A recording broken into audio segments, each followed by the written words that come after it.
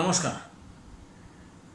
चंद्रशेखर, फिर से आपसे संभाषण करने के लिए उत्सुक हूँ। और ये अभी हमारा भाव की श्रृंखला में अष्टम संभाषण है। या ऐसा कहे कि षष्ठ भाव के बारे में हम संभाषण कर रहे हैं, जो अष्टम संभाषण है, क्योंकि शुरू में हमने ज्योतिष का ज्योतिष किस प्रकार से हम उसे देखते हैं। तथा ग्रह हमारे बुद्धि पे कैसे काम करते हैं, या कर सकते हैं, और उसकी वजह से क्या क्या हमें फल प्रदान हो सकते हैं, ये दो हमने पहले संभाषणों में देखा, और बाद में ये छठा भाव है तो अष्टम संभाषण है। नैसर्गिक तो ये षष्ठ भाव जो है, ये लग्न से षष्ठ भाव की हम बात कर रहे हैं। हमने पंचम भाव में भी देखा कुछ प्रमाण में कि भावात भाव तत्व का कैसा हम प्रयोग कर सकते हैं कौशल्य पूर्ण कर सकते हैं, और यह षष्ठ भाव है। इसके बारे में ऋषि पाराशर कहते हैं मातुलांतक शंका नाम। मातुल यानी मामा। माता का भ्राता। अब हमें मालूम है कि लग्न से तृतीय भाव ये हमारे भ्राता दिखाता है।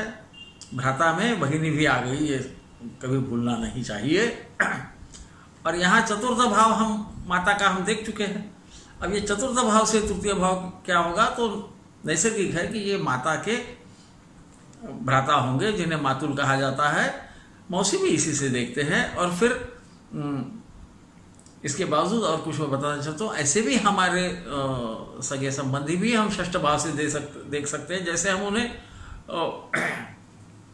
अलग अलग भाव से देखते हैं तो षष्ठ भाव से हम, क्योंकि भ्राता हो गए, हमारा कुटुंब हो गया, हमारी माता हो गई पुत्र हो गया। अब ये हमारे सहसा जो भी सगे संबंधी है, उन्हें भी हम षष्ठ भाव से देख सकते हैं। हालाँकि इसे मूलतः मातुल भाव कहा गया है। माता के जो भाई बहन है, उनका भाव कहा गया है। और आतंक यानी मृत्यु को बोलते हैं। आतंक शंका नाम का मतलब कि मृत्यु की शंका, जिसे हम रोग कहते हैं। रोग के परिणाम स्वरूप मृत्यु आ सकता है, इसीलिए पाराशर जी ने उसे स्पष्ट शब्दों में रोगस्थान कहते हालाँकि उसे रोगस्थान के नाम से भी जाना जाता है, षष्ठ भाव को। हम रिपुस्थान कहते हैं, उसे रोगस्थान कहते हैं, उसके अनेक नाम है, षष्ठ भाव कहते हैं। तो रोग भाव कह सकते हैं हम उसे। तो पाराशर्य, देखो, संस्कृत में कुछ चीज़ें अलग अलग रीति से हम उसी शब्द का, उसी अर्थ के शब्द का प्रयोग कर सकते हैं, उसमें से ये एक है। आतंक शंका नाम, कि भाई, रोग हो गया, कुछ हो जाएगा क्या? इसकी जो शंका आती है, इसलिए हम षष्ठ भाव को देखते हैं। हमने जैसा देखा कि षष्ठ भाव ये बड़ा मज़ेदार है। ये त्रिक भाव भी है और ये त्रिषणाय भी है। तो ये थोड़ा सा ज़्यादा क्या कहें हम? जातक के शारीरिक स्वास्थ्य के दृष्टि से थोड़ा संवेदनाशील भाव है, ऐसा हम कह सकते हैं। ये भी हम ख्याल में रखें कि हमें षड रिपु रहते हैं, हमें मालूम है षड रिपु है। तो इससे हमारे अलग अलग जो हमारे वृत्ति में, हमारे स्वभाव में जो कम ज़्यादा प्रवृत्तियाँ हैं, हम हम जिस तरह से बर्ताव करते हैं, ये सब हम षष्ठ भाव से देखते हैं। फिर आगे क्या बोलते हैं? नाम शत्रुश्चैव व्रणाधिकान। शत्रु, हमारे एनिमीज जिसे हम अंग्रेज़ी में कहते हैं, हमारे शत्रु। शत्रु यानी प्रतिस्पर्धी नहीं, इसे समझ लीजिए। कई बार इसमें लोग गड़बड़ कर देते हैं। शत्रु और प्रतिस्पर्धी को एक ही समझते हैं। प्रतिस्पर्धी, हम जब सप्तम भाव में जाएँगे तब समझेंगे कि प्रतिस्पर्धी कौन सा भाव है सप्तम भाव है। क्यों है, वो मैं समझाऊँगा। समझाने की कोशिश करूँगा। आप ज्योतिर्विदा आपको मैं क्या समझाऊँ? फिर भी मेरा प्रयत्न रहता है कि मैं किसी भी एक जो कल्पना की गई है, जो हमें तत्व दिया गया है, उसे और ज़्यादा खोल के बताने का प्रयास करते रहता हूँ। ये मेरा स्वभाव ही है। और शायद इसीलिए हम संभाषण कर रहे हैं, और इसीलिए आप भी मुझे बड़े प्रेम पूर्वक सुन रहे हैं। तो शत्रुश्चैव व्रणाधिकान। व्रण का मतलब किसी भी प्रकार की चोट कुछ व्रण होना। व्रण का तो मैंने बोलने की ज़रूरत है अंग्रेज़ी में अल्सर्स भी कहते हैं उसे अल्सर्स कह सकते हैं आप। आ, किसी शस्त्र के घाव से हुआ हुआ जो घाव है उसको भी हम व्रण कह सकते हैं। या घाव होने के बाद में वो जब सुधरता है उस स्थिति को भी हम व्रण कह सकते हैं तो वो अलग अलग चिन्ह भी हो सकते हैं। शत्रुश्चैव व्रणाधिकार तो हमने देखा कि हमारे मामा या मातुल घराने के लोग, रोग, शत्रु, व्रण, ये व्रण भी रोग से आए हुए व्रण होने की संभावना ज़्यादा है। हालाँकि ये चोट आने की वजह से जो व्रण होते हैं, वो भी षष्ठ भाव से देख सकते हैं। परंतु जैसा मैं कह रहा था कि ये षडरिपु को अभी एक दृष्टि से प्रतिनिधि होने से हमारे भी उसमें कुछ गलती होती। है ये षष्ठ भाव के जो भी प्रकार है जो इसमें तकलीफें आएगी इसमें हमारी भी कुछ ना कुछ गलती रहेगी। ये अचानक होने वाला नहीं है कि कोई खुद ब खुद कुछ हो गया। ऐसा नहीं जब इसके व्रण होते हैं या इसके रोग होते हैं तो इसमें हमारा भी कुछ न कुछ योगदान रहता है प्रत्यक्ष अप्रत्यक्ष। बाद में सपत्नी मातरम चापी ष्ठ भावान निरीक्षित सपत्नी यानी हम्म, एक ही ऐसी पत्नी जिसके पति की और एक पत्नी हो। तो ये सपत्नी जो है, इसे हम सौतेली माँ कह सकते हैं। वो भी षष्ठ भाव से देखी जाती है। क्यों? क्योंकि जिस काल में ये लिखा गया था तो पिता की जो पत्नी रहती थी, उसके बाद में जो पत्नी आती थी, उसे, यानी जातक की माता अपने सौत को अपनी छोटी बहन के समान मानती थी। आज के ज़माने में वो रहेगा नहीं, शायद वो हमें भाव बदलना पड़ेगा, उसे सोचना पड़ेगा कि किसे हम सपत्नी कहें अब, आज के दिनों में। परंतु नैसर्गिक है कि जहाँ जातक अपनी माँ को जिस प्यार से समझता, उस उस प्यार से तो हमारे, उसके सौतेली माँ की तरफ़ नहीं देखेगा, है ना? कुछ लोगों ने इसको सपत्नी और मातरम या ऐसा अलग अलग कर दिया है। कि ये जातक की दूसरी पत्नी ऐसा अर्थ में लिया है, पर ऐसा कुछ महसूस नहीं होता जो पाराचर जी ने बोला है संस्कृत में इतना थोड़ा बहुत समझता है। क्योंकि मातरम यानी माता षष्ठ से नहीं देखते उसे चतुर्थ से ही देखते हैं। इसे षष्ठ भाव से देखना चाहिए। यहाँ भावाद भाव तत्व का बहुत बड़ा हम प्रयोग कर सकते हैं। आगे शायद कहीं ना कहीं हम बोलेंगे, पर आप ये भी समझ सकते हैं कि ये तृतीय भाव से चतुर्थ है, इसलिए भाई का मकान भी हम यहीं से देख सकते हैं। चतुर्थ में हमने देखा कि गृह देखा जाता है किसका? जातक का। तो तृतीय भाव का चतुर्थ यदि षष्ठ होगा तो भाई का या भ्राताओं का, भगिनियों का जो गृह है, उनका खुद का, उन्होंने खुद कमा के जो लिया हुआ है, वो भी हम चतुर्थ षष्ठ भाव से देख सकते हैं। अब इसे, इसमें कुछ और है। जो जातक पारिजात में कहा गया, वो बोलते हैं, रोगारी व्यसन क्षतानी। रोग, यहाँ रोग स्पष्ट कहा गया। आतंक शंका की जगह रोग ही कहा गया है, आचार्य वैद्यनाथ जैसा पीढ़ी का फ़र्क पड़ते गया लिखने का समय बदलते गया तो लिखने की प्रथा भी या पद्धति भी बदलती गई।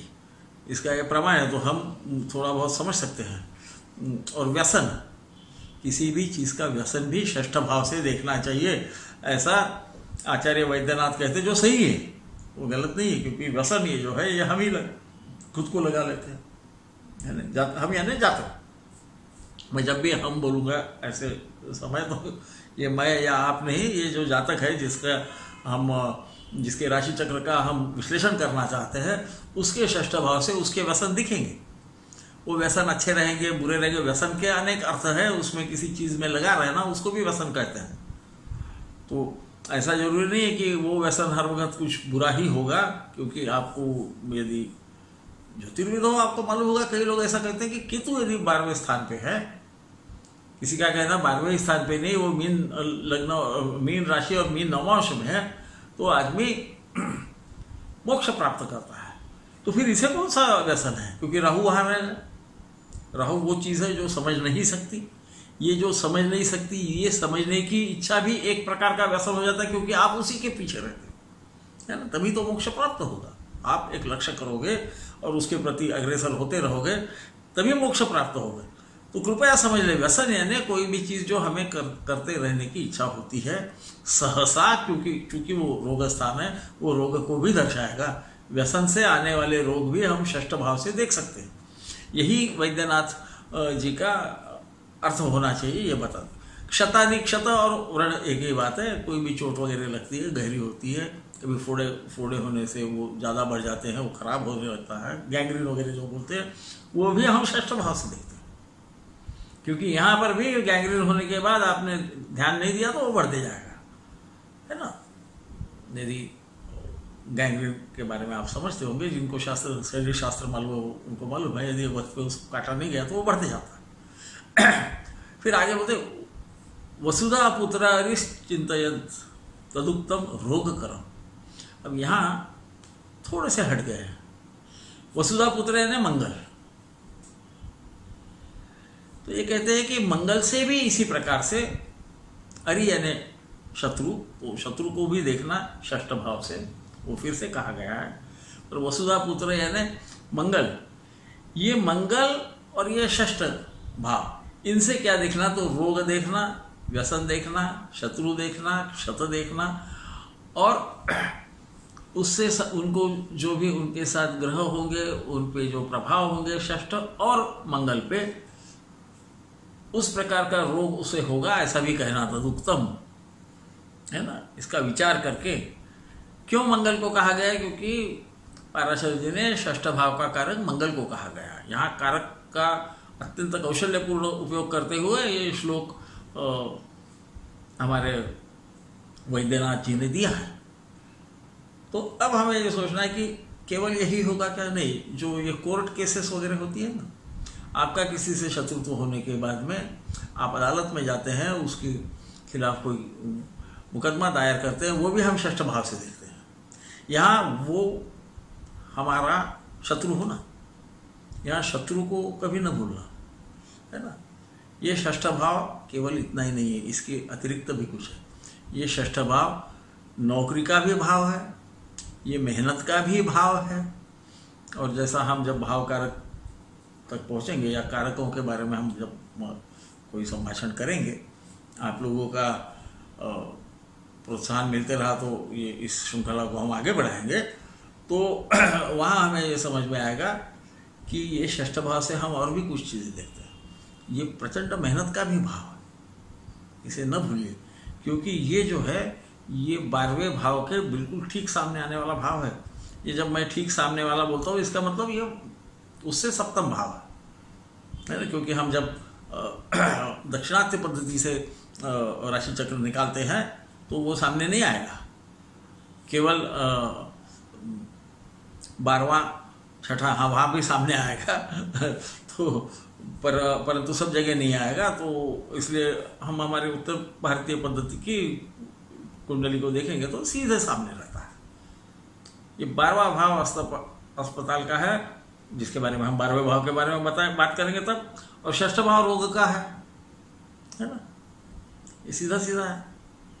तो ये षष्ठ भाव और क्या दिखाता है? ये आपको जो कर्जा देने वाला, उसके धन का व्यय भी बता सकता है।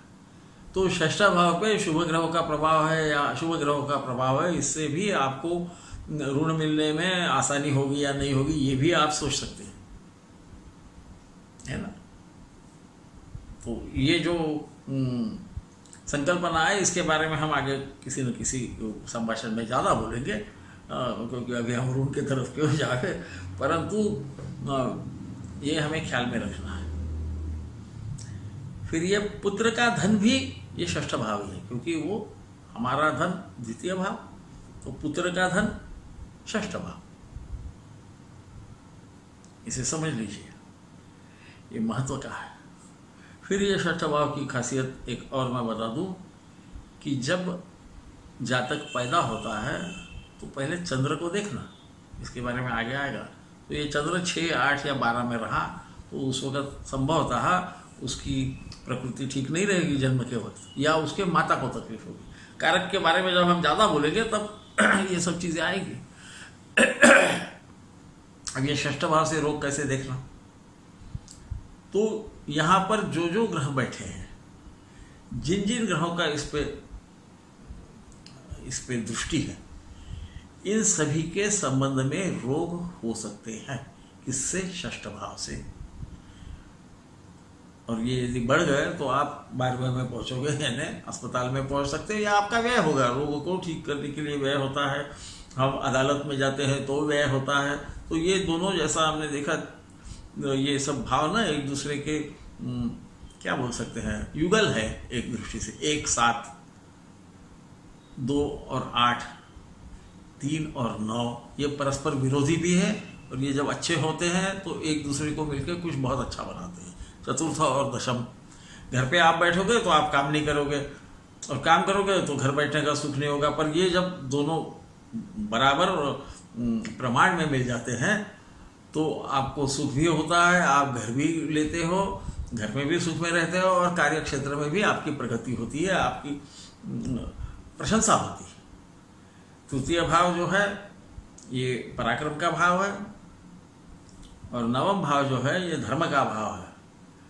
तो तृतीय भाव में क्रूर ग्रह होने के बाद में क्या होगा? वो उनकी दृष्टि धर्म भाव पे जाएगी। तो ये धर्म को थोड़ा बहुत तो गड़बड़ करेगा। पर ये किए बगैर इसकी प्रगति नहीं होगी। तो ये क्रौर्य यदि वो धर्म के काम के लिए प्रयोग में लाए तो उसे धर्मात्मा कहा जाएगा। है ना? हमारे काफ़ी जो भगवान है, ये युद्ध में विजयी होके किसी शत्रु का हनन करने से उनको हम धर्म के क्या कहते हैं? हमें धर्म कैसा है, ये समझाने वाले हैं, ऐसा हम समझते हैं, है ना? तो इनका यदि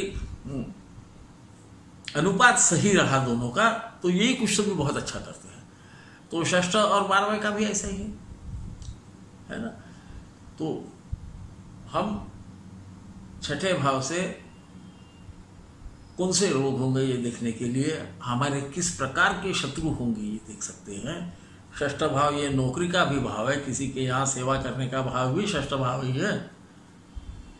क्योंकि जब हम नवम भाव पे जाएँगे, तब हमें समझेगा कि हमारा जो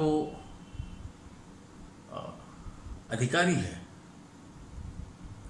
उसका दशम स्थान ये षष्ठ स्थान आता है। ये जो नव षष्ठ स्थान है ना, ये पिता का भी मकान षष्ठ स्थान से हम देखते, पिता का भी कर्म स्थान जो है, उसे षष्ठ से देखते हैं। है ना? तो हमारे पिता, हमारे गुरु, हमारे जो जिसे अंग्रेज़ी में बॉस कहते हैं, हम जिसे अधिकारी कहते हैं, हमारे यानी जातक के ऊपर के अधिकारी जो रहते हैं, वो सब हम नव भाव नवम भाव से देखते हैं। उनका दशम भाव, उनका कार्यस्थल, ये षष्ठ भाव है। यहाँ के ग्रह जातक कहाँ काम कर सकता है, या किनसे काम करवा ले सकता है, ये दोनों चीज़ें बता सकते मैंने जैसा कहा कि तृतीय भाव में हमने हमारे नौकर देखे, हमारे भृत्य देखे, जिसे भृत्य कहा जाता है। ये कौन से? ये हमारे खुद के भृत्य हैं। हमारा ही एक प्रकार से अंग्रेज़ी में हम जिसे बोलते हैं एक्सटेंशन है। हमारे शरीर का एक हिस्सा और जो आगे जाता है, जिससे हम काम करवाते हैं, किससे? क्योंकि ये स्कंद से संबंध है, तीसरा भाव हमने देखा है। ये जो षष्ठ है, ये हमारे कर्म क्षेत्र में हमारे से जो निचली लेवल के, निचले स्तर के जो काम करने वाले हैं, वो भी षष्ठ भाव से हम देखते हैं। हम नौकरी भी यहाँ से देखते हैं। हमारे नौकरी के स्थान में जहाँ हम कर्म करते हैं, वहाँ के स्थान के जो नौकर है, वो भी हम षष्ठ से देखते हैं। या आपका समझो कोई व्यवसाय है, वहाँ भी काम करने वाले जो कर्मचारी है, उनको भी षष्ठ भाव से देखा जाता है। इसे कभी ना भूलिए, क्योंकि ये मेहनत का भाव, ये परिश्रम का भी भाव है। षष्ठ भाव केवल रोग और शत्रुओं का ही नहीं है, परिश्रम का भी है। इसीलिए पाराशर जी केवल मंगल को उसका कारक मानते हैं, पराक्रम भी करता है हमारा कर्मचारी। परंतु जातक परिजात और अन्य शनि को भी षष्ठ भाव का कारक मानते हैं। करो तिथि कारका जिनकी वजह से हम षष्ठ भाव के बारे में ज़्यादा ज्ञान प्राप्त कर सके तो षष्ठ को भी माना जाता है। षष्ठ रोग तो है ही। तो ये कौन सा रोग है? ये तात्कालिक रोग है। तात्कालिक कैसा है कि हमारी भी कुछ न कुछ गलती उस रोग में सम्मिलित रहती है। रोग के बारे में जब हम संभाषण करेंगे तो इसके बारे में शायद हम ज़्यादा बोलेंगे। परंतु ये समझिए कि ऐसा नहीं है कि कुछ कुछ चीज़ें हैं यदि हमें हम्म, ऐसा समझते हैं कि कोई अवघात हो गया। अब अवघात दो प्रकार के हो सकते हैं। जब मंगल का षष्ठ से संबंध आएगा, खासकर दृष्टि संबंध आएगा, हो सकता है कि वो वहाँ बैठा भी होगा, क्योंकि मंगल दोनों प्रकार से क्षति पहुँचा सकता है भाव को। तो आपको अपघात यदि होगा ना तो वो अपघात ऐसा नहीं होगा कि अकस्मात हो गया, आप कहीं गाड़ी लेकर खड़े हैं, पीछे से किसी ने आपको ठोक दिया। इस प्रकार आपका भी उसमें कुछ ना कुछ सहयोग होगा। आपने ध्यान दिया नहीं इधर गाड़ी लेने गए आपकी गाड़ी फिसल गई, आप गिर गए। या हड़बड़ी में ब्रेक मार दिया, या चलते चलते बहुत गड़बड़ में चलने लगे, पाव को ठोकर लग गई या अपघात तो हुआ, पर इसमें आपका भी सहयोग है। ये अचानक हुआ नहीं कि किसी ने तो भी पत्थर फेंका, आप वहाँ से गुजर रहे थे, आपके सर पे गिरा, आपका कोई संबंध नहीं है। नहीं नहीं, ऐसा नहीं होगा। समझो गोली चल रही है, आप वहाँ कुछ तो भी शान पता करके कहा गोली चल रही है, देखने जाओगे और फिर आपको लगेगी। तो ये षष्ठ भाव से देखना। और आपका कोई संबंध नहीं है, किसी अतिरेकी ने आप पे हमला कर दिया, आपको गोली मार दी, ये अष्टम भाव से इसे ख्याल में रखिए। या समझो शनि वहाँ बैठा है तो श्वास लेने में तकलीफ़ हो सकती है। प्राण का अधिकार शनि का है। षष्ठ भाव में होगा या षष्ठ पे देखता होगा तो क्या होगा? जातक की भी कुछ न कुछ गलती इसका मतलब ये हो सकता है कि किसी विशिष्ट वातावरण में जाने के बाद में आपका दम घुटता होगा, जिसे एलर्जी कहते हैं। है ना? या दूषित जगह गए। आपको और कोई तकलीफ़ हुई जिसके बारे में मैं आगे बोलूँगा। आपने कोई पानी ऐसा पी लिया कि जो साफ़ नहीं था और आपको दस्त लग गई। ये सब षष्ठ भाव से। आपको मालूम था वो पानी ठीक नहीं, फिर भी आपने पी लिया। ये उसमें रहेगा हाँ ये सही है कि उसके वजह से रोग हुआ, उसके वजह से आपको तकलीफ़ हुई, परंतु इसमें आपका भी सहयोग था। हम उसको बोलते हैं क्या कहते कॉन्ट्रीब्यूटरी निग्लिजेंस आपका भी था। आपने भी किस, कुछ जगह ध्यान नहीं दिया, है ना? गड्ढा था, आप पीछे देख रहे थे, गड्ढे में आपकी गाड़ी गिर गई या आप गिर गए। तो ये षष्ठ भाव इसका प्रतीक है। शत्रु भी अचानक नहीं होता, कुछ तो भी आपने भी किया रहता, तभी तो शत्रु पैदा होता है। षष्ठ भाव ये शत्रु का भी भाव। अरि अरि का मतलब शत्रु। व्यसन। व्यसन में आप ही आपका संतुलन न रख पाए और किसी चीज़ के पीछे पड़ गए। और पढ़ इतने गए कि आपको कुछ रोग हो गया वो भी फिर षष्ठ भाव से आएगा। है ना? इसे इसे समझने की कोशिश कीजिए। नहीं तो षष्ठ भाव और अष्टम भाव दोनों को भी हम देखते हैं। षष्ठ को हम रोग भाव। रोग स्थान बोलते हैं। कटपयादि में तो खैर वो अष्टम हो जाता है जर्मनी में, उसे भूल जाइए। हम अभी सीधी सीधे संस्कृत की बात कर रहे हैं। रिपु स्थान भी बोलते हैं। रिपु का मतलब भी वही है शत्रु है तो इसमें हम भी हमारे शत्रु रह सकते हैं। खासकर जब लगने षष्ठ में बैठेगा तो आपको ख्याल में आएगा कि जातक को कहीं जाना नहीं पड़ता शत्रु नहीं इसकी गलती आ रही थी खुद की। ये भी एक दृष्टि से खुद का शत्रु हो जाता है। ये जब हम एक भाव का अधिपति दूसरे भाव में बैठता है तो क्या होता है, इसके बारे में यदि चर्चा करेंगे तो उस समय ये आ गया है इसलिए इस षष्ठ भाव को समझ लीजिए। हम, हमारी, दूसरा ये समझिए कि ये षष्ठ भाव दशम भाव का नवम भाव है। है ना? नवम भाव ये लग्न से नवम भाव, ये धर्म का भाव, हमारा जो कर्तव्य है उसका भाव है तो कर्म के क्षेत्र का नवम भाव षष्ठ होने से आप कर्म भाव का कर्तव्य क्या है? हमने हमारे पूरी शक्ति से काम करना वो भी हम षष्ठ भाव से देखते हैं। इसीलिए मैं बोलता हूँ कि नौकरी है या हमारा जो मेहनत है, लगन है, ये भी षष्ठ भाव से देखना। उसे केवल बुरा भाव मत समझिए। कभी कभी वो दशाओं के बारे में होता है कि लोग ऐसा समझते षष्टेश की दशा हर वक्त खराब रहती है। नहीं नहीं, वो खराब नहीं रहेगी। वो शायद आपकी यदि नौकरी लगने का संभावना होगी तो शायद षष्टेश की दशा भी कहीं ना कहीं रहेगी। ये हम ईशोत्तरी दशा तक जब पहुँचेंगे, आपकी यदि प्रोत्साहन रहेगा तो ज़रूर पहुँचेंगे। तब इस पर हम ज़्यादा चर्चा करेंगे। तो ये षष्ठ भाव है, ये अष्टम भाव का ग्यारहवा भाव है। है ना? तो ये भावात भाव प्रिंसिपल बड़ा मज़ेदार रहता है। ये जो तत्व है भावात भाव का, ये बहुत ही मज़ेदार है। एक ही भाव से हम अनेक प्रकार देख सकते हैं। है ना?